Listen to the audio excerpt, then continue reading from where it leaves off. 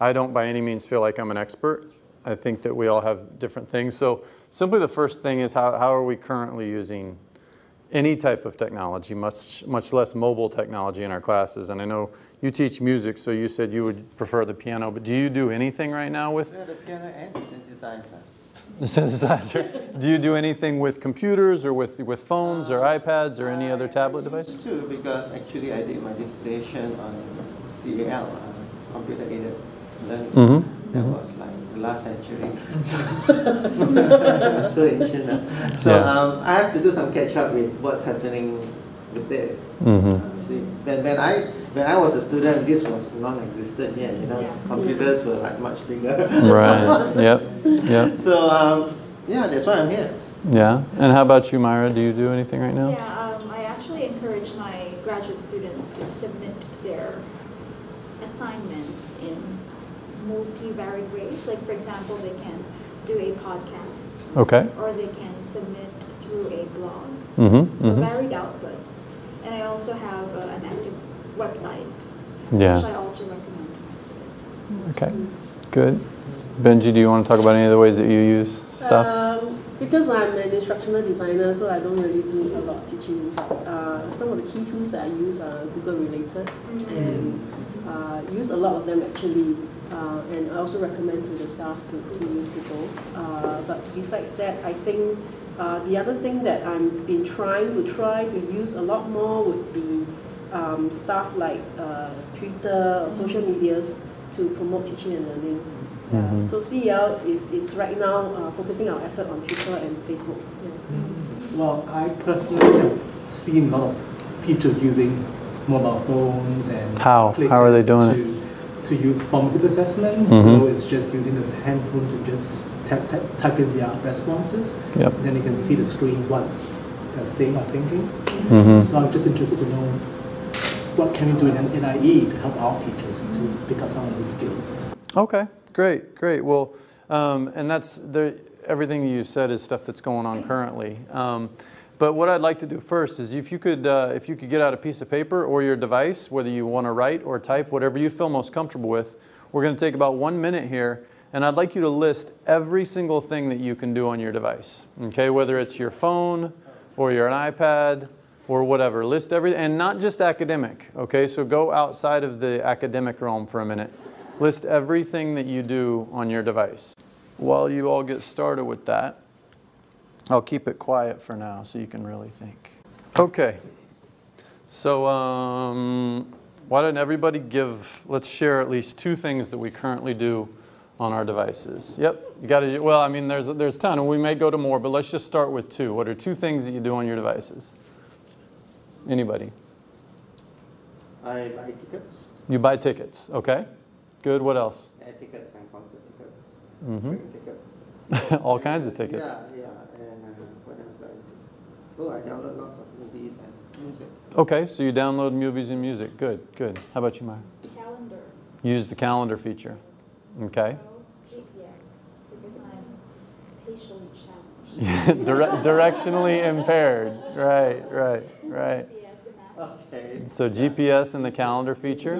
Good, good. How about you, Benj? Um, I think Zachary thinks that I'm like uh, hooked on to Twitter all the time. So I, I actually participate in social media most of the time. And uh, like her, I use the GPS and Google Map quite a lot because I drive. Yeah. Mhm. Otherwise, yeah, that's pretty much about it. Yeah. Okay. And how about you, sir? Um, it's mainly calling and WhatsApping. Yeah, you can call people, right? You can call and WhatsApp people. Yep, yep. What I would like you to do is next to each one of those things that you wrote down, think about how you could use that particular feature in class tomorrow with your students. Okay? So we'll take again another minute here and write down every single way that you could use it in class tomorrow.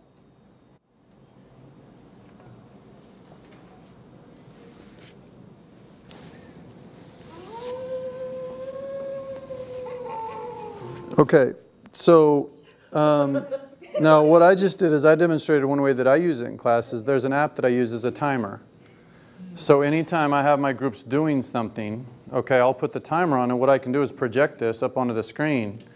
And so then they can see the time that they have left And then at the end, you heard the sound. Now, there's lots of different timers out there. This is one called Howler Timer, and you can hear it just howled like the moon. Um, but this is a really, really good way to manage class with our devices, and you can get this on your phone, you can get it on the iPad, whatever. Let's go through some of the stuff that you listed, and we're going to start over here with you this time, how, how the things you listed, how you could use them in class. Pictures of students' work. Okay. Posted up on Facebook, Okay, good. So pictures. Yep. WhatsApp. Mm -hmm. Send, share pictures and things. Okay, okay, good, good. What about Google or Twitter? Um, I, I will usually use uh, Google Doc for uh, collaborative writing sort of assignments or, or uh, practice in class. And then um, sometime I will use a Google form uh, to capture survey. Uh, most of my presentation is created using the Google presentation, which is equivalent to PowerPoint. It's just that it's stored online, it's easier for access. And uh, I try to share some of the links on Twitter to people follow me. So that's another way of using that I usually use. Okay, good. How about you, Mara? This is something that I haven't really explored or tried yet, but I would like to use it. Evernote. Evernote, okay. I know that it's an app Mhm. that you can download on your mobile phone. And I, I think that you can also share some of the documents that you type in. Absolutely. to Evernote. Yep, So yep. it could be one way to facilitate like group discussions. hmm Um, another would be BookMine, which I think a lot of the students here at NIE may not be familiar with. It's, again, an app wherein you can check whether the book that you want to borrow from the NIE library is actually available. Okay? So that's BookMine. Okay. Um, real quick, and then I'm going to ask you to go beyond apps. You talked about the GPS and the calendar before, so I'd like to, you to think while I'm explaining Evernote how you could use those features in class tomorrow. Okay? So Evernote, for those of you who aren't familiar, Evernote is an app that allows you to either take written notes, verbal notes, pictures, videos, etc. And the nice thing about it then is you can store them all in one document. So for example, if you're studying composers, okay, you can have verbal notes, you can take written notes of composers, you can pull up a piece of their music, you can show a video of a, of a, a symphony playing one of their pieces, and you could pull up a YouTube video that talks about that composer and save it all in one place. So now it's not five separate different documents, it's all in one place. And then you could share that um, no, because it does it seamlessly. So it just integrates it seamlessly. So um, Evernote, there's a little bit of a learning curve with it, but it's really, really useful. Uh, it can be a really useful tool. I don't use it a lot, but I know a lot of people who love it. Yeah, I'm thinking, you know, the, and the reason that we do this exercise to start with is because I think a lot of times we make it too hard. Everything that we automatic, we already do on our devices, we can use in class. So you brought up great use of pictures right? I mean, our- our kids are snapping pictures all the time, and we all know how to snap a picture on our device. We can automatically bring that into class. And here's, what, here's the big thing about mobile devices, and we're going to talk a little bit more about this in a second, though. It makes the learning more relevant for them. Because now it's not them going and finding an outside image, now it's them taking an image. So when they're sitting in class and you've got, let's say, 25 students and they're all reading different books, then you have them on their GPS go to the setting of the story and you have them follow the path of the main character if it's a book where they traveled, perhaps. Um, you can also use something like Google Lit Trips. I don't know if you've heard of Google Lit Trips. If you can look, you can Google that, Google Lit Trips. And what Google Lit Trips does, Google Lit Trips takes stories and what it does, and this is, it, it's incredible. It takes a lot of the big time stories and what it does is it follows the main character from place to place and using Google Earth, it actually takes you specifically to those settings where it took place at. Now, here's the thing before it moves on to the next place, you have to answer a question about the story. So you can't just follow the journey without reading. You have to know the comprehension question that's asked at each place. Is this an app? No, it's on it's online, but people you, but you could access it through your mobile device. And you could also have your students make their own. And this is what I think would be very interesting to do with a class, depending on how long the books were, and if you had a character that traveled, is have each of your students make a Google Lit trip where they use their GPS and they put it into Google, to Google Lit trips where the, you know, they, they followed each book. And if you go to Google Lit Trips, you'll see a, a wide variety of books that have already been made, that they've already done that with, but it's user content created, so teachers can go in and make their own. So again, I, what I'm going to encourage us to do is to think about everything that you do today. There's no magic pill. Anything that you do with your device, we can use in class. And, and so we're going to talk about just some pretty simple things, including texting, including how we can use images, video, Twitter, um, for lots of reasons. And then at the end, if we have time, we can go through a couple of apps and other things. But, but the thing is, I think a lot of times, especially in higher ed, we're looking for that magic fix because we don't want to try anything new because we've been doing the same thing over and over again, right, for a lot of years.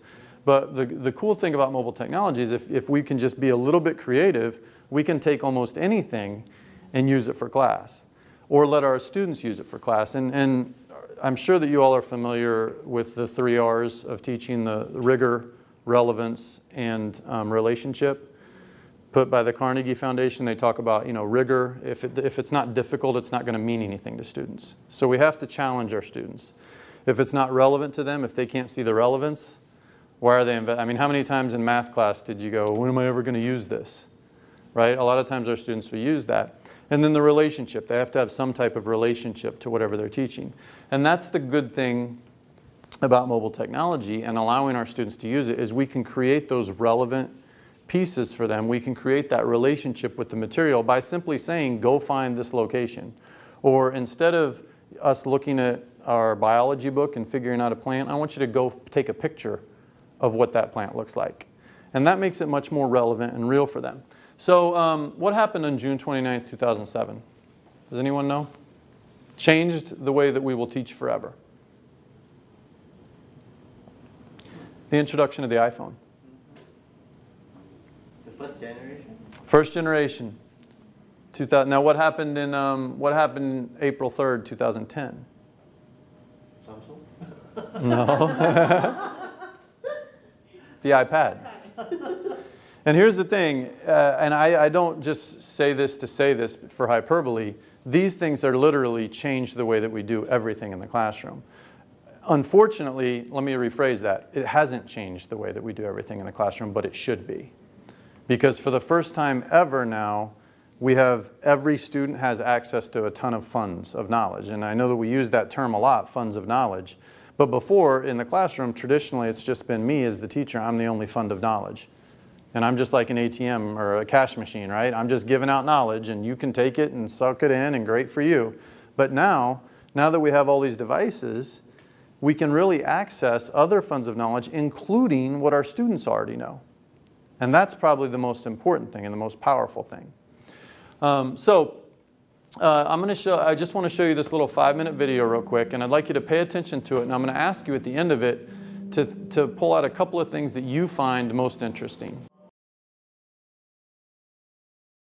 Okay, so um, a couple things that you find or found interesting, and I'm going to let that play silently in the background. But what are a couple of things that, you, that really stuck out to you as you watch that? That the future belongs to social media. The future belongs to social media. Okay, good, good. What else? This is actually very familiar to me. I use the same video clip, but it's not this. Um, the shift happens. I'm Yep, sure yep. Mm-hmm, mm-hmm. I actually edited last shift happens um, uh, and included a few information for special needs. Right, So I right. made it relevant to our ed studies Mm-hmm, mm-hmm. course, and we do show that. Yeah, yeah. What about you? Anything stick out at you as you guys watch this? But actually, I didn't, I didn't realize that the impact of social media is so huge. Although, yes, I, I know that it's huge and I've been participating as an avid user in it, but it didn't come across to me that it is going to be like this huge. Mm-hmm.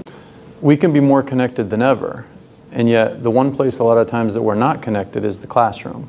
True. When we know that people learn collaboratively, we know that this is the world that we're preparing them for, right? If we're preparing them for jobs or we're preparing them to be teachers to teach the next generation, but we're, we're not accessing any of these things in our classrooms. Not so much in, in the formal setting, but more in, in the informal setting. Right, in informal settings sometimes, but once we get into classrooms, it's interesting. I was um, watching this with a group of teachers last year. Said, So all this stuff is so, it's growing so quickly, and yet our schools outlaw it. Our schools don't allow it. Our teachers don't allow it. So in some ways, our schools are like China. and I thought it was a really interesting way to think about it. You know, I, again, that's not, those aren't my words, okay? But I do think it's really interesting that we're preparing, a, a, you know, our students for a world that is going to look drastically different than anything that we've ever seen before, and yet we're still preparing them like their education is 20 or 30 years ago before social media. I just want to find out. Uh, in, in the schools in, in Singapore, do did allow the students to bring handphones and iPads to school? I think it depends on the school. Yeah. No, Because I know in, it's at some schools in Malaysia, it- these are, these are like banned. Mhm. They, they don't, they're not allowed to bring stuff like this. And, and here's, the- but remember, there's, and, and so yes and no, it depends, I think, on the school and the classroom, but it's not really about, it's not really about whether they're allowed to bring them. It's about are, they, are we using them? And are we utilizing all the, the power that's in the devices? I mean, Obviously, if they don't allow the student to bring this stuff to school, it means they're not using this, right? Right, but even if we do allow them to bring it, Uh-huh. I mean, we allow them to bring it, but are we utilizing it for learning? And that's the thing that I think, that's the next step is now, okay, yeah, I allow, I allow kids to bring their phones, but what are they doing with their phones? Are we using them as learning tools or are they just tweeting out, hey, what are you doing after school today? Right, and so I think that those are the those are the big things we have to think about. So what I'd like you to do is using your device, leave a voice memo for yourself about the video you just watched. So pick up your device and see if you can figure out how to learn how to use or to leave a voice memo for yourself. Voice recording? Yeah, for yourself, a voice note for yourself. How are we preparing our students for 21st century? That's questions that I want to answer. And I want to come back. One of the interesting things about that is you just asked how we're preparing students for the 21st century, right? One of the things on Twitter, one of my colleagues wrote, if we're just preparing students for the 21st century now, we're 13 years too late. Hmm, yeah. And I thought that was a really interesting kind of way to look at it. But now let's talk about this voice memo that we just left. How can we use that in class? Because again, all of our students have devices, and yet are, they, are we just allowing them to bring the devices or are we actually using them in class? So how can we use this in class, out of class, et cetera, with our students? Things like the voice memo. Okay, for a student with special needs, maybe who has trouble with the physical act of writing. Okay, now they can voice record their, their journal entries or their diary entries. Good. What else? Because you teach music, could you have your students either sing something and record it or play something and record it and then they can analyze themselves? They can do self analysis. Okay? Could you have your students, as they got done with the story, give 20 seconds immediate feedback? So they don't have time to think about it. You know what I mean? They read it, they read a story, boom, immediate feedback. Could we have our students with assessment? This is another form of, you know, the formative assessment as we go along. You got to leave yourself a voice memo. Now here's what we do with all those with all those things, okay? They can self-analyze it or you can have them send them and you can post them on your blog. So now they get not only their own feedback, they get everyone else's feedback in the class as well. So now what we can do is create discussion because what you took away from a lesson might be completely different from what you took away. Or when you listen to your song that you sing, you hear something completely different than me as an outsider. I think that that, and I'm using terms that I don't, I don't know, crescendo is perfect. But you might think, no, that was horrible. So something like a voice memo, which is on every device, which is very simple to use, can present huge learning opportunities. The other thing is let's take it outside of class, okay? Um, this weekend, uh, give me a, something that we might study in class. Anything.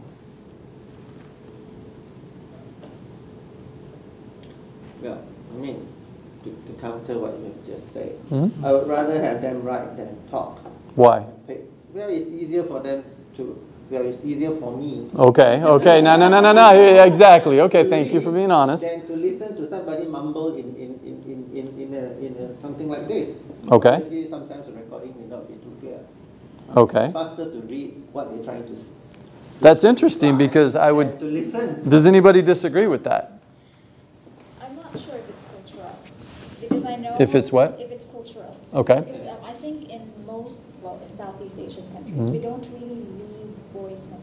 messages, Mhm. for example. Mhm. Even in, you know, when we call someone on the phone, we very rarely make use of that function. Right. And to transfer that, I mean, if we compare it to how voice messages are being used, for example, in the United States, when there's an art and science to leaving messages, Mhm. just to you Mhm. know, get people to leave messages to your phone. Right. It's not being practiced as much here, so I'm not sure if it's a cultural Mhm. thing. That's why there is a reservation to using audio. And, and that's completely, I understand the reservations. One of the things that I'm going to talk about here in a little bit, let's see if I can find it right now. Um, and I'm just going to give you one example. This is a program called Time to Know. Okay? Time to Know is a reading program developed in the UK. And what it does is as you read, okay, as you read a, a specific story, it asks you comprehension questions. So as you answer those comprehension questions, it adjusts the text to your, to your level of reading. So here's the thing it can go down to the student who needs a little more support, but it can also raise the bar for the student who's a little bit further along. So, for example, students read on their laptops, some students are reading the story on their own, and those who chose could have the story read to them. Let's say a student with dyslexia would rather have put the earphones in and have it read to them. The vocabulary was adjusted for students who were more advanced. So some children read that the horse ran, others read that it galloped. The next student might read that it galloped swiftly. Here's the thing when we talk, there's two things about this. First of all, this can't happen if not every kid is allowed to use a device, right? Because, you know, you can only do this on a device. But second thing, one of the things that we know about students with special needs is that one of the big things around fourth, fifth grade is they don't want to feel different, right? But all of a sudden, if you're reading at a second grade level and you're reading at a fifth grade level, now I don't, I have to read a whole separate book. So now I'm, I feel very self-conscious about that, which turns me off to reading, which turns me off to learning. So now I can be reading the same story as everyone else, and then as I answer comprehension questions correctly, it will actually increase the language so that it's more effective for me. So you're saying that this is a software that actually adjust, adjust real time? Yes, yes, it adjusts as, as, you, as the, the comprehension questions are asked. Now, I'm not saying that this is the perfect for everything and for everyone, but this is an example of some of the things that we can do to make learning more accessible than it's ever been for students. And again, you take away that social component where I'm not embarrassed now because I'm not reading a different, a different story altogether. only for, for elementary students. It, this started as elementary. Time to Know started as elementary, but now they are actually increasing. I mean, they're constantly increasing the books that they, they offer. But if you go to their website, you can see this is their old screenshot, but now they have all different types of research um, articles that have shown how this has helped improve learning in schools and so on and so forth. So So are the comprehension questions asked after every chapter? I think it's throughout. So it's throughout the, the chapters it's asked. You, you're a reading person, so you would understand it more than I do. But um, basically, what it does is as you read, it asks you comprehension questions throughout, not just at the end of chapter, not just in a set place. So, It's adaptive in that sense. exactly, it's very adaptive. So, um, and then here's another example. Okay, so time to know is one. Sound SoundGecko, what I can actually do on Sound SoundGecko is I actually can go in and just copy the website into Sound SoundGecko and then it will read it to me. So again, you take a student who learning a foreign language who doesn't read great but can understand spoken language, they can use that. You take a student who has dyslexia who doesn't read really well but understands everything. It's just the input part is the hard part. Well, now it's, we're making learning much more accessible for those learners. How good is the? It's, I've actually listened to a couple things. It's pretty good. It's pretty good. And it's constantly getting better. Some of them still do. Some of them still do. Um, but just like anything, I mean, we have a colleague, Ming Yi, who he listens to, if you know, if everyone might know Ming Yi. Um, he, he's blind, and so he has to listen to everything read to him. I can't understand a word of what the computer's saying, but he listens to it now enough that it makes sense to him. So just like anything, you know, it, it's, it's adaptable. Um, so what are some of our biggest concerns about using technology in class? Some kids have access to. Okay, so accessibility, absolutely, yep. Mine is like plagiarism, copy and paste. Okay, yep, plagiarism, yep. What about others? I think I share your concern, not using it enough. Not using it enough. Okay, on the opposite side of that, not, not utilizing it enough, yep. One of the, the big things that our students and teachers that I work with, their biggest, there's two things that they're concerned about. One of them we talked about earlier is the students are going to know more than I am. I'm going to look silly, right? Which we have to kind of get over that ourselves a little bit, if, you know what I mean? Because that's going to happen. But the second one is how do I manage the class? So how do I know that Benji's not actually on, you know, well, I, she can be on Twitter, but how do I know that she's not shopping for groceries right now? How do I not know that she's not out planning her next vacation, right? So classroom management is a big issue. And so I, I always put these out there at first because this helps sometimes teachers that want to use devices but are terrified of how to use them. And so here's some, here's some just some, some common classroom management tips. Number one, dock your device. Anyone know what dock your device means? It means you have a place on their desk or table or whatever that they have to put their device face down. Now here's why okay? Because if I'm up front and I want everyone on their devices, et cetera, okay, and it, maybe it's a phone, maybe it's an iPad, I say dock your device. There, for me, it's always the top right-hand corner of their seat, okay? And they just have to put it face down. And here's why. Because if I say put your device away, a lot of our students are so good that they're sitting there, their device is down here, and they're still playing, right? So I want to be able to see their device. So I'm encouraging them to use their devices. I'm encouraging them, and all of a sudden, I want their eyes up on me because I'm going to go over a really important point or something they really need to hear. Dock your device. Device goes down. Now I can see everyone's device. I know that they can focus on me. Does that make sense? So dock your device is one way to kind of help manage your class. The second one is hands up. So play along with me. When I, when I say hands up, put your hands up real quick. One, two, three, hands up. Okay, now hands up. Up, up, up, up, up. Yeah. Now I can walk around and see what you were doing on your devices. You see what I mean? So now I've got a class, and if you have a huge lecture hall, you're probably not going to be able to walk everywhere. But what, if you have a class like this, uh, but if you have a class like this, right, and I say hands up, all of a sudden everybody puts their hands up, and you have to teach them to do it right away, right? Now I can just take a quick little lap. I can see that everyone's doing what they should have been doing, and I can move on with the lesson. So here's the third one, okay? Apples up. Apples up means show me your screen. So show me your screen, Midgie. Apples up. So now, okay, now remember the first one, dock your device, means everyone's working on their devices. I want them to put their device down for a minute and really pay attention to me. These two are everyone's working on their devices, and that's fine. I want you all working on your devices. I just want to check to make sure you're doing what you should be doing. So first one, hands up, boom, I can do a quick walk around. Apples up, you stay seated exactly where you are. You just put your apples up, I can see what's on your screen. Or, or You've done something like on a whiteboard, on one of the whiteboard apps. Now you just show me your answer so I can actually see your answer as you put it up. Does that make sense? So those are a couple. Um, color coding. What I mean by this is if you, if you give out um, assignments that you've created, you change the font color to match what it is. So for example, if it's a homework assignment or something like that, you put all the font might be in green. Okay? If it's a group project, all the fonts in orange. If it's an assessment, all the fonts in blue. So now we're doing a classroom assessment. Everybody's on their device doing an assessment. If I walk around and I see that you've got green pulled up, I know we have a problem because you should only have blue pulled up because that was what the assessment colors were. Does that make sense?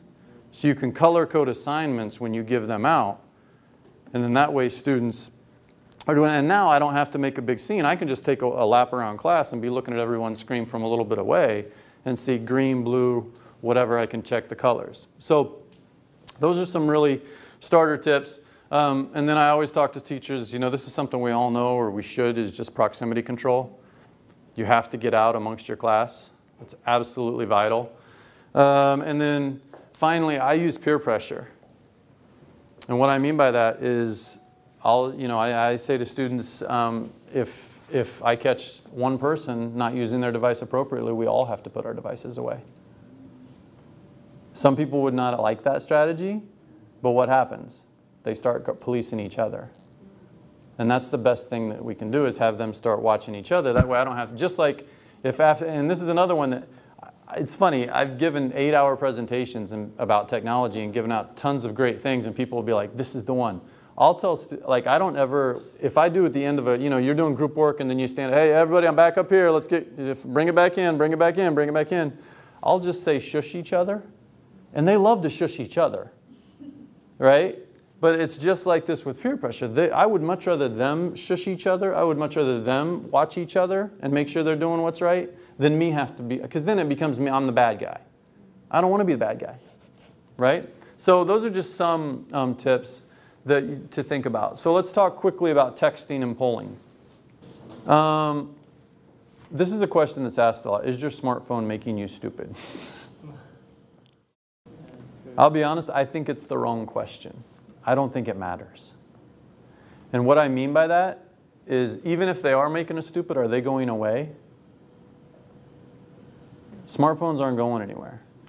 Just like, and this is the example that I always use in Singapore because this is the culture that we have here, is there will be a set of stairs right here, and there will be an elevator right here. And everyone knows that taking the stairs is better for you. And yet people will wait for the elevator for four minutes to go up two flights of stairs when they could have just walked up the stairs that were right next to it. And why do they wait for the elevator? Because it's more convenient. Okay. Whatever it may be, right? It's more convenient to wait for the elevator. And whatever your rationale is, is fine. But it's the, same, it's the same thing with smartphones. They're not going anywhere, and people are going to use them anyway. So whether they're making us stupid or not, what we have to do in education is figure out ways to use them better, to figure out ways to, again, use them as tools for learning.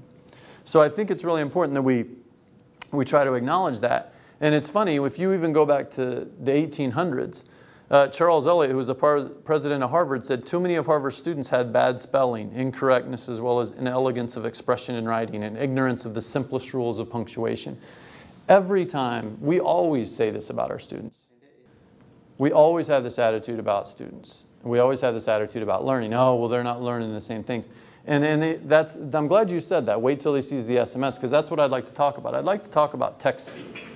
You know, text speak is, is the kind of the LOL, the, the shaking my head, all those little things that we use. Um, a lot of times teachers have a real issue with those. There's nothing wrong with them. They're just a different way of talking. It's just a foreign language. And what we have to do as teachers is help students understand that there's this type of rule for foreign language and this type of rule for formal language, right? But could you allow on first drafts your students to just use SMS language for a first draft of a paper? What's the point of the first draft though? Just ideation, I think, it's, it's okay to just use symbols or pictures, whatever, to just get ideas there. Yeah, the first draft is just getting the ideas out, right? But so many of our students feel like it has to be perfect the first time that they don't get all the genius out.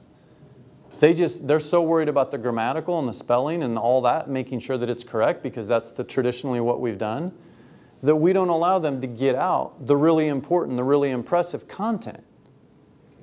Because there's, there's a big difference, right, between the content and the process. The content and the process are two different things. How it comes in and how it comes out are very, very different than what it actually is. And a lot of times we're so focused on the process as teachers that we ignore really great content. And if we start, if we allow students to kind of express themselves in ways that they're most comfortable, and are they most comfortable texting? A lot of times our students are very, very comfortable texting. That's when they really free flow. So if we allow them to express content in this way, first draft only, it can be an interesting way for them to get that content out. And by the way, I understand that there's, there's cultural context here and this is very difficult to think about. But again, I'm, as someone who really wants to reach every learner, I think it's really important that we stretch these boundaries and that we allow students to express themselves because again, this is and this is one of those terms I use all the time, allow genius. We have to allow genius in our classroom. We know that Einstein couldn't read until he was seven or eight years old until he was seven or eight years old. Thank goodness, because he talks about his early schooling, how bad it was. Thank goodness he had parents that kept allowing him to express his genius in other ways. Because if it would have only been allowed to express it through writing or reading, who knows where he would have ended up? We may never have had Einstein, which is pretty scary to think about. Walt Disney, dyslexic.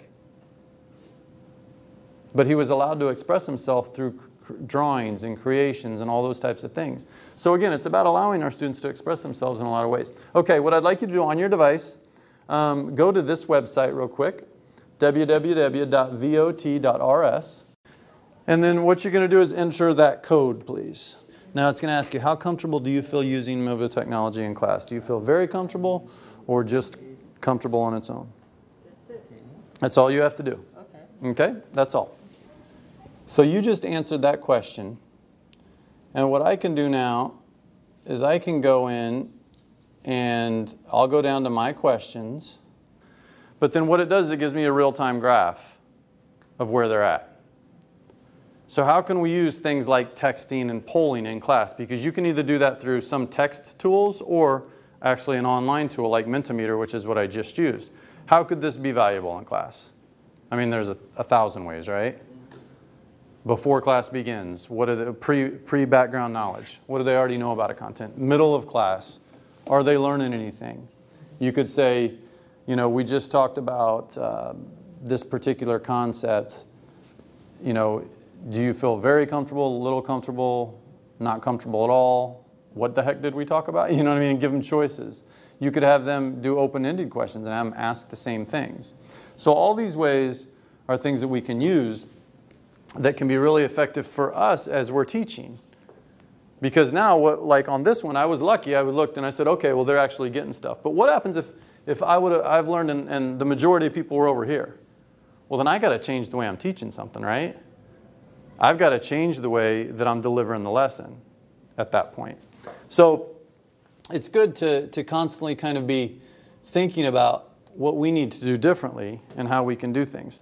All right, let's talk quickly about images, and then I'm going to have a little get up and go challenge yourself in a minute, okay? So let's talk about images. Um, what do you see here? This is spelled wrong correctly. Correct? This is spelled incorrectly. This is on campus. Here? This is at a higher education institution in Singapore. They happen all the time. I see them all the time in Singapore. But part of the reason that we don't see them is because we don't have a critical eye, because we haven't been taught to have a critical eye. Look at that. Yeah, Look at that tattoo. What's wrong with it? Your. Live you are life. And so the thing about these three examples right here is we can have our students, this is on campus again, we can have our students taking pictures of mistakes that they see out in public. So if it's music, I, I don't know, you know, I don't know your, your content area well enough, but could they, you know, uh, take pictures or take video of things that are wrong when music is described, or lyrics, or could you have them go out and find um, lyric sheets that are printed wrong. You do know what I'm saying? Like one of the things that we need to do with images though is start using them because it makes our students critical thinkers. Because how many of our students walk around like this all the time? On their devices anyway, right? But first thing it does is it takes their eyes up off their devices if we use this and we, and we build it into the assessment piece. But second thing, it makes them actually think about, hold on, that doesn't look right. And it makes them actually see things differently. And so, You can feel the eyes off their phones. exactly. But again, how do we build them off? We put it into the assessment. One of the things that I do with, my, with some of my classes is 10% of their grade is finding mistakes. They have to find mistakes and take pictures of them. Does two things. A, again, it makes them critical thinkers, but B, it also makes them recognize when I, when I spell things wrong, what does it look like? Right? When I do, when I make mistakes and they go out to the public, that's how silly it looks. Um, this is a whole website that is on math mistakes. People take pictures of math mistakes and send them into this website. So it's a really interesting exercise because, again, it gets them to think critically and it gets them to go outside their mind. But as you all know, I mean, this is, if nothing else, images are good for this. Have you all seen this, this scene at all? Uh, in conferences, yeah. Yeah. But what's the good thing about allowing students to take notes this way? Just because what about the, again, that student who doesn't write quite as quickly and doesn't get everything down? You know, I, I didn't have great handwriting when I was young. And so I would write down the math formulas, but then I would get home and there was just one little X that I thought was a Y because I hadn't written it clearly enough. And it would throw everything off. So if I could have just taken a picture of that and made sure I had the formula correct, it would have been so much easier. So again, I'm not, I'm not trying to argue everything with you. You just, th these are things that we can use. And these are things that I think we should be using. 10 minutes, I'd like you to take your device, okay, and go outside, anywhere outside the classroom, and take a picture of something that relates to your class. Something, there's some way you could pull that into your class, okay? Bring to my students and say, okay, look at the picture, look at the sculpture, and probably come up with a musical idea based on the based on the sculpture. As you know, the arts are always so well well integrated and connected. Mhm. So many instances where you know composers look at piece of art or a, a picture or a person or whatever, and they start to write music based on what they have seen. Right. So uh, probably can use do the same exercise to make it. I love that. I love both of those examples. And, could you see your, you know, let's say that even you, how, I don't know how long your course is, is it a day or a couple hours or maybe it's a semester, you know, whatever, but like during a break, right now, I just go out and take a picture of something that relates to class. And again, it makes it much more relevant for them. So let's talk about video. And um, we're going to watch this one real quick. This is about just a couple of minutes long.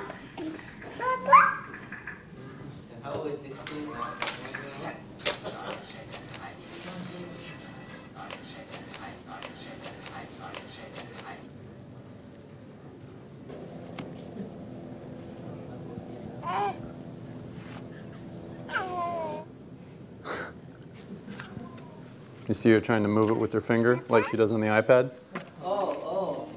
Yeah, she's trying to move it like she would on the iPad. See, she's trying to grab it like she would on the iPad. Same kid, same kid. See, look, now she checks to see why isn't this working? And what you're going to see here is she actually puts her finger on her leg to make sure that her finger's working.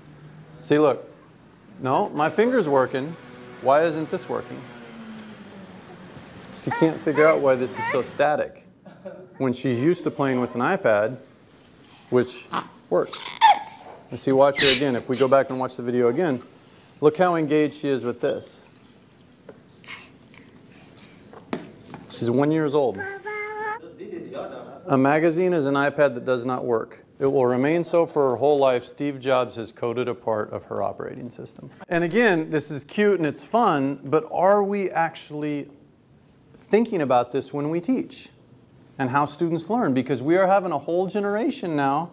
She's going to be in school in five years. We're preparing teachers to teach that child. And yet, if we don't use technology in our classes and teach them how to teach that child, she's going to come into our class and be completely disengaged. Because all she, she again, a magazine's just an iPad that doesn't work to her, right? And that's not the way we think. I love magazines, I love newspapers, I love hard books, but it's a different generation. And I think one of the interesting things about that video is that I can tell you all that, but once you see it, it's incredibly impactful. It's much more impactful. Video is the new text. And we have to start using video all the time in our class. And one of the things that I encourage us to do, and this is another video, is think about how you can use video in your class for assessment, whatever. Speaking of assessment, Perks, have anybody, did anybody read this book, Perks of Being a Wallflower? I have not. I don't know the book. It's, it's pretty famous. There's been movies about it, the whole thing. But apparently, one of the big concepts is infinity okay, and, and being infinite. That's one of the huge concepts in the movie. So this teacher, all she said was each of our students in my class, she said, all of you have to make a video, one minute long, that shows me what infinity means to you, or what infinite means. So this student made a video of her playing Monopoly with her father. Now, if you've ever played, have anybody ever played Monopoly? Monopoly is a game that can go on for hours and hours and hours and hours.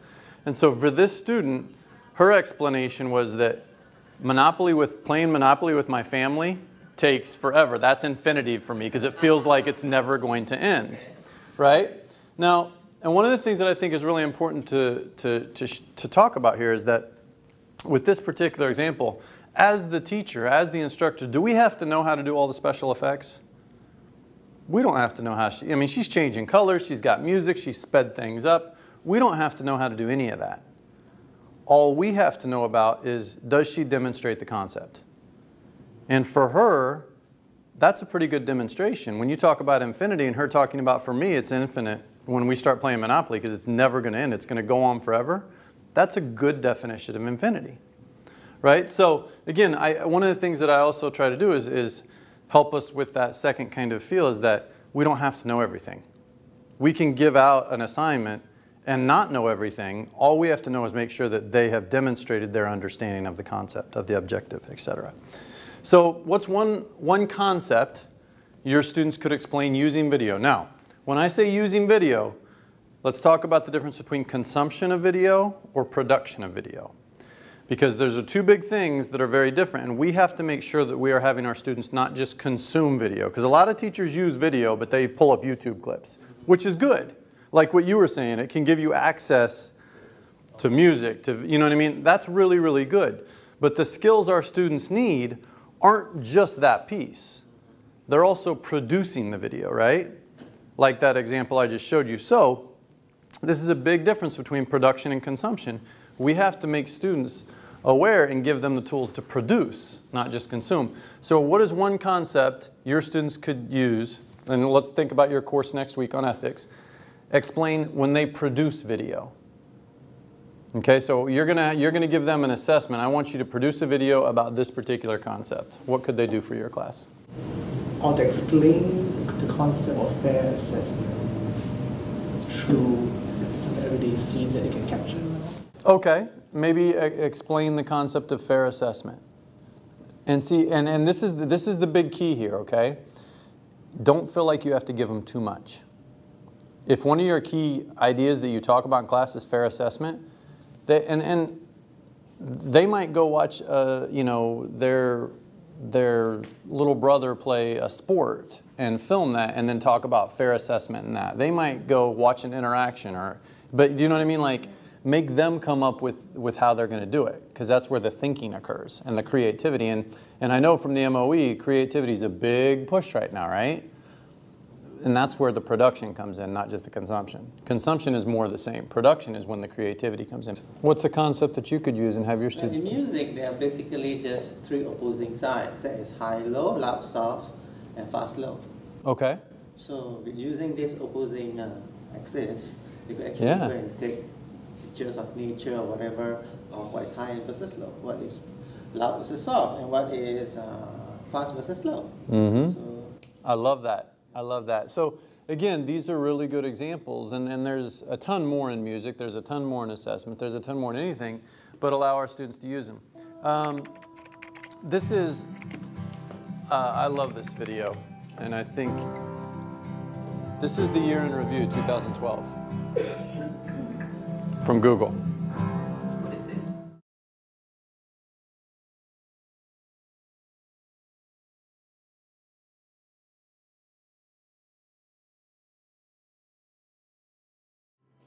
Google puts this together. They, they, they combine all their data on the most searched terms, and they put it together at the end of the year. But we could do this in class too.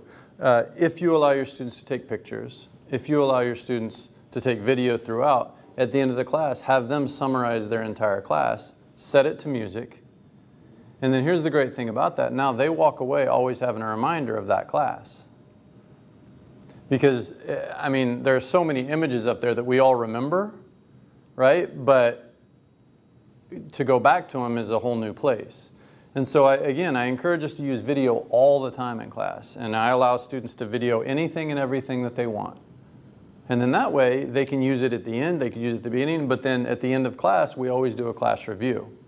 So what I'm going to ask you to do real quick is I'm going to ask each of you to exchange devices. Okay, so you give your device here, you give your device there, Bidgie, you give your device there, or vice versa. And what I'd like you to do is film each other, okay, giving three takeaways so far. You have 30 seconds to do it, okay?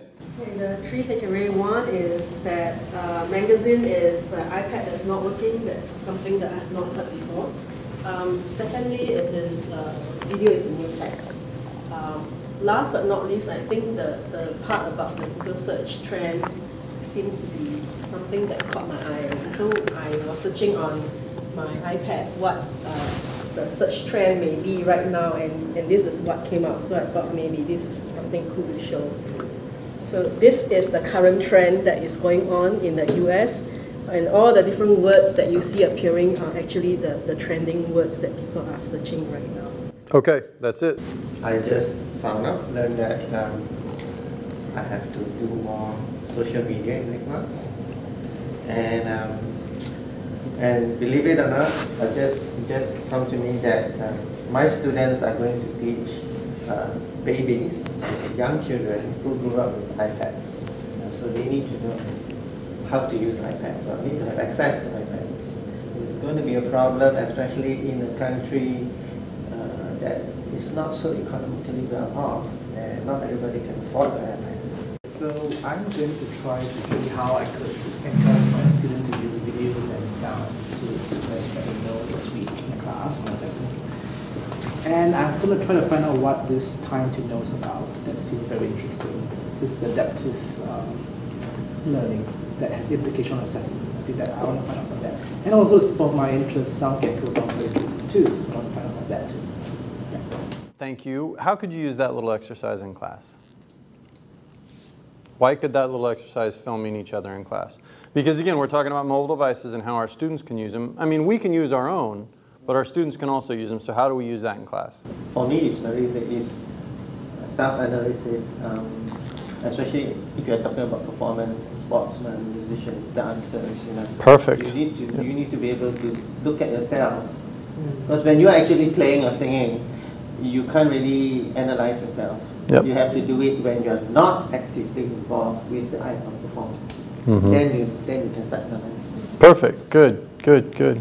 I, I think uh, usually when we tell the students to go back and reflect on what you have learned, uh, they generally will not do it, or if they do it, they cannot really remember what they caught on the spot. Mhm. So um, doing something like that is helpful, but uh, bringing the technology, I think bringing something that is new and novel, they kind of like, well, some of us will enjoy it, some of us will find that, hey, we are scared of the camera, but the pressure kind of adds some uh, uh, interesting element to, to the whole exercise. hmm How about you?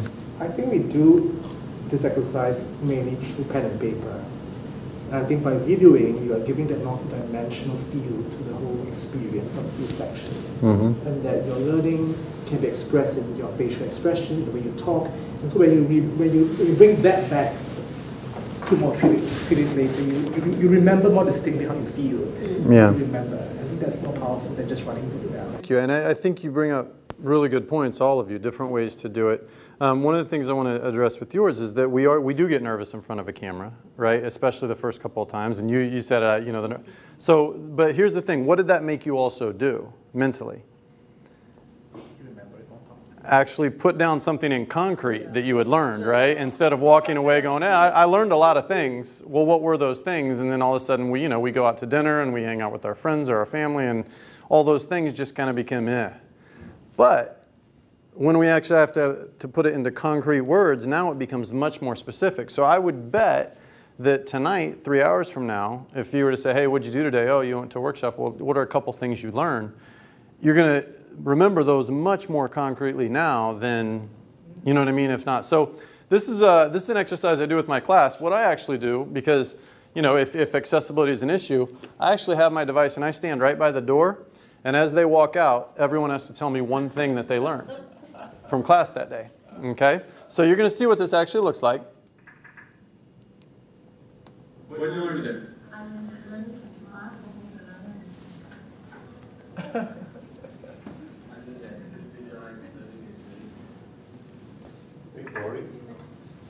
Fun.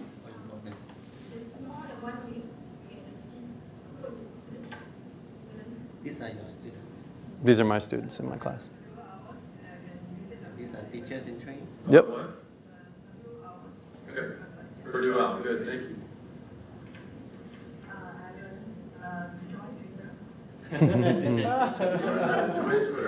Okay, so now, but what you can see here, and what they're saying is, you know, not the important part. Now, what, here's the key thing about video, though. What can I do with that now? Archive it, Archive it. keep it for future reference. For whose future reference? Students. Yeah, so now I can go up and put it on a blog, put it on a website, share it with them through email, whatever. And now they all have all of these different takeaways from class, not just their own. And it also can be a sort of feedback for, for the instructor. Absolutely. I mean, I don't know about you all. I've taught things before where I thought I taught it really, really well. And then they walk out and I'm like, that, they didn't get at all what I was trying to teach, right? So it's not only feedback for us, it's feedback for them. And, and like you said, and one of the things is, you know, when you see yourself and what you were wearing and your facial expressions and how nervous you were, that brings a whole different element to learning as opposed to just writing something down. Not that writing is bad. I have my students also put their takeaways on Google Docs. So they have this and they have a written takeaway on Google Doc every time. So again, just another way that we can use mobile devices very, very simply, right? But we're going to take a real quick quiz, okay? It's only, I'm going to have you watch this, okay? It's a one minute, it's only one minute. At the end of it, I'm going to ask you to, to three questions, okay? I just need you, you can take notes if you want, okay? Um, I just need you to, at the end of the video, uh, answer these three questions.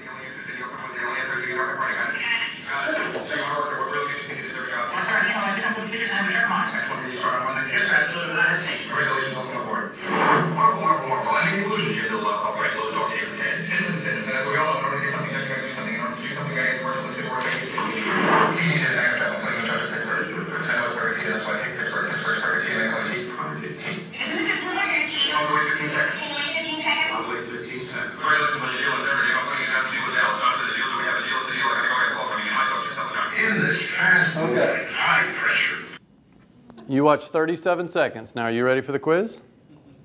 Okay, when did our executive need to be in New York? No idea. Where did, uh, where did Don get the, the deal done? In the rest, restaurant? No. No, but uh, the third question we'll ask about the board. What did the board all have in common? Same bald guy? Okay, same bald guy. Okay. Okay. Now, here's the reason that I show this is for a couple of reasons, okay? When all we do is lecture, for a kid with the processing disorder, that's what it sounds like to him. Doesn't mean if I, now how, what could I do differently with this? I could slow it down, I could replay it, I could give you the transcription. There's all these other ways that I could make your learning more accessible. But oftentimes we stand up and we lecture and we talk, and that's all we do. For a kid with the processing disorder, that's what he hears. Not because he can't understand the material. You all could understand the material fine if I just slow it down, right? But for a kid with the processing disorder, that is what he hears. So that's the first point, to get away from just lecturing and to use video. Because what's the great thing about video? When I video my class, what can I do? I can pause, I can watch it, I can repeat little sections of it, or I can repeat the whole thing as many times as possible. So I encourage us to use video a lot. The second thing about this is the only question that you actually got correct, okay, was the one about the board, right? They all look like the same person. Why did you get that one correct? Right? Because it was visual. And this is a real, again, this is really, really important for our learners because let's go back to that one-year-old playing with the magazine. How is she going to be programmed to grow up? Everything for her is visual. And so if our students aren't engaged visually through video, things like that, if our students aren't interacting with the material, they're lost. This is what I was talking about earlier. What we have to do is realize that it's not about me, it's not about my teaching. It's always about their learning. And so if I've got a different style of learner coming into my class, I have to adjust. And there's no question this generation of learners is familiar with all this. Do we have to know how to video and put in special effects? No. Do we have to know how to take a great picture and, you know, and do all the colors and all that stuff that our students do with it? No. But what we can do is say, go take a picture of this concept. I know the concept, you know how to take the picture. Right? Take a voice memo as a reflection on your way out. Because now when you, when you write it, maybe I get it, maybe I don't. But when I take a voice memo, I can hear my voice and I can hear if there's passion or boredom or whatever it may be as I walk out. And then I can take all those voice memos, I can take all those videos, put them up on, in, a, in a blog or on the screen, and now I'm learning from something that you took away, which was completely different than what I took away. I'm learning from your perspective, which is the same thing I took away, but we took away in different perspectives, how we would use it differently. So now it changes the way we can do everything. We are going to talk about Twitter real quickly. The fastest growing demographic on Twitter is 55 to 64 year olds. Um, first of all, and I think the, there's a, a couple of really big reasons, is A, because in business, like what we saw in the, the social media video before, 55 to 60 year olds are a lot of times leading companies that, you know what I mean, they're at the point in their careers where they're in top positions and they understand how important Twitter is to their business. But the second point, and this is the one that I hope we'll focus on, is the fact that it's the best place to go for professional development, especially in education. It's the absolute best place to go for professional development and education. Um, did you know that now a lot of companies are hiring not even looking at resumes? They look at a person's Twitter account. And they'll judge it because what they understand as a business, what I understand now is it's the message that has to get out. It's how I communicate the message. So if I'm a really effective communicator in 140 characters, which is what Twitter is, it's only 140 characters. If I'm a really effective communicator, then I can probably be a really effective communicator about a company. But a resume is not going to tell me that. What Twitter, Twitter will. Um, some students are being taught to use Twitter as, as early as primary and grade ones. And again, these are the students that our kids are going to be teaching. So we've got to teach them how to use these things properly. Um, I love the, a couple of these quotes. Introduce as many colleagues as possible to Twitter. Professional development doesn't get much better. I was massively skeptical. How on earth could a social network be of benefit professionally since I've started this whole Twitter and blogging activity? I have rapidly, or since I've, I have rapidly become converted to the benefits, discovering ideas, generating enthusiasm, organizing ideas, sharing ideas across schools and across countries. Basically, writing this blog and being on Twitter is making me better at my job. Well, here's the thing. You can join Twitter and never send a message. You would receive messages. And what you do is you look for certain people that send things out that are appeal to you. So here's a couple other ones, but I love this one last one. If you're not on Twitter, you're dead. And, and, and what she meant by this is that if you're not on Twitter, you're not developing. You're, you're dead professionally because you've just stopped trying to get better at what you do. And so um, I would usually right now have you go in and create a Twitter account. What I'll do is I'll, I'll give you some hashtags to know. And, and the way that you're familiar with hashtags, uh, hashtags, what you do is you go in and you search for these hashtags. Okay, so which, and a hashtag is just that little number sign, right? And then like hashtag higher ed is all about higher ed. All different types of, so it's basically a discussion all about higher ed. These are all academic hashtags here.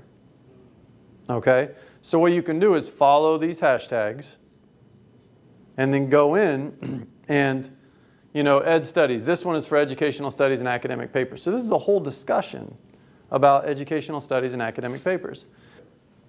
But this is really important because what you can do now is you join Twitter, you follow these discussions all about academics. And here's the thing, you know who you know the big people in music are right now. I wouldn't know that. But if they have Twitter accounts, what you can do is go in, follow those people or follow those discussions, and all of their information that they send out will come right to your device.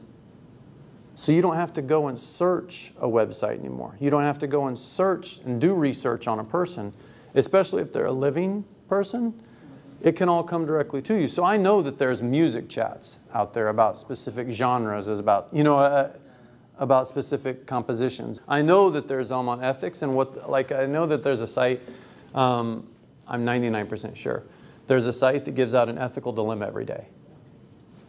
Like, that'd be perfect for your class, right? Or for, or, you know what I mean, to follow. So go in, find the people that you want to follow, and then just follow them. You don't ever have to tweet out anything yourself. And I think that's the biggest advantage is you can just follow and it all comes directly right to you.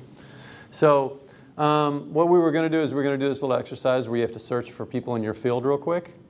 So I'm not going to do that right now, but I encourage you, I encourage you to think about it.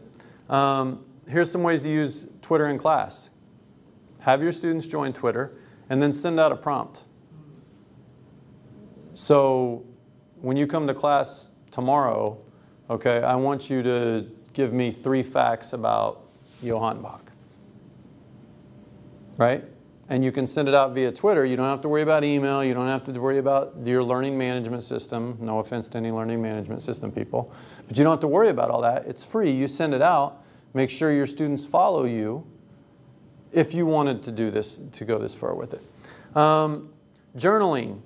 A lot of, a lot of classes will, like I have a, a specific hashtag that I use for my class. So then all the students will send their reflections in and it will start a conversation about whatever we talked about in class that day via Twitter. Um, let's see. How do you condense a main point into 140 characters? That's a really, really valuable lesson for our students to learn because again, a lot of, especially we talk about the business world, their, their idea of marketing is how can I hit someone quick and how can I get the message out to them quick? So being able to condense an idea into 140 characters is difficult, but really a good thing to, to have our students do, to try to do. Um, reach out to public figures. I know especially in elections and things like that, people, they'll send out tweets and try to get people to come, the, the candidates to come and talk to their groups. Um, but you could also do it with, you know, uh, musicians or, or, or whatever. Um, what would Einstein have tweeted about the theory of relativity? So it can be a place to imagine. It can be a place to think about things in a different way, right? Um, a headline for a historic event. What would the tweet be about a famous piece of work of music now? There are a lot of tweets on music, I mean, on concerts, concerts reviews. Yeah, but like, like a, a kind of a seminal, huge piece. What would someone tweet about the review of, I don't know. Right, yeah, so-?